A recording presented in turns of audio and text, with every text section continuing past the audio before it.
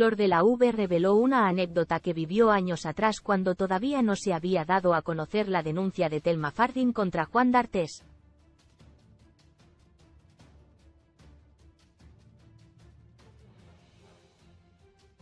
En aquel entonces, las actrices ya habían apodado al actor de forma muy particular.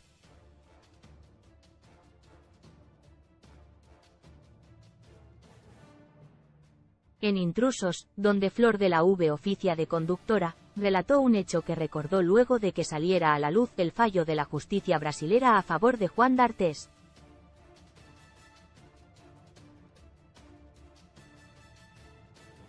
Una vez estaba en una gala solidaria con un grupo de actrices jóvenes. Muchas, eran más o menos cinco o seis.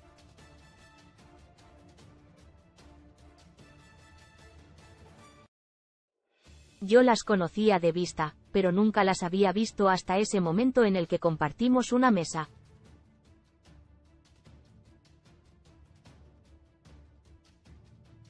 Fue una noche bastante agradable, expresó la artista en primera instancia.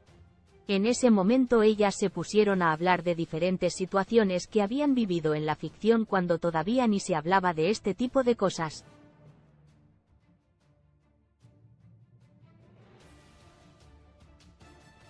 Y nombraron a una persona que le decían de apodo el violín. Esta persona era Juan D'Artes, sentenció Flor.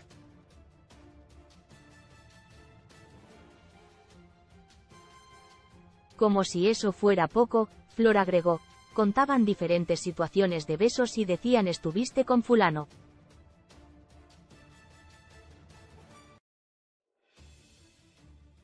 Porque eran actrices muy populares, de primera línea, entonces eran todas de muchísimo trabajo.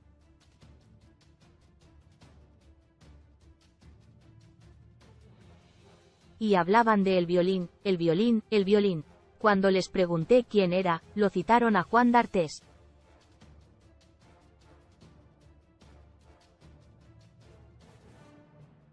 Flor de la V reveló el motivo del apodo de Juan D'Artes. Cabe aclarar que en el momento en que Flor compartió la mesa con este grupo de actrices jóvenes de primera línea, todavía no se había conocido la denuncia de Telma Fardin y no era común hablar de estos temas en los medios.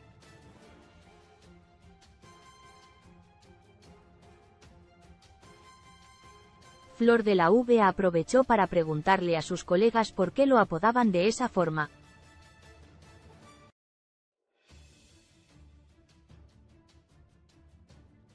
Le decían así porque siempre en las escenas, decían que se le iba la mano. No lo denunciaron, pero ya se conocía,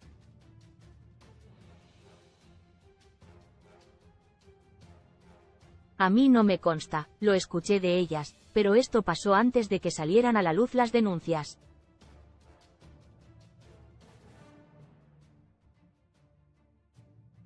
Pero si en un ámbito laboral una persona actúa de esa manera, ¿qué podemos pensar o esperar? cerró la conductora de intrusos.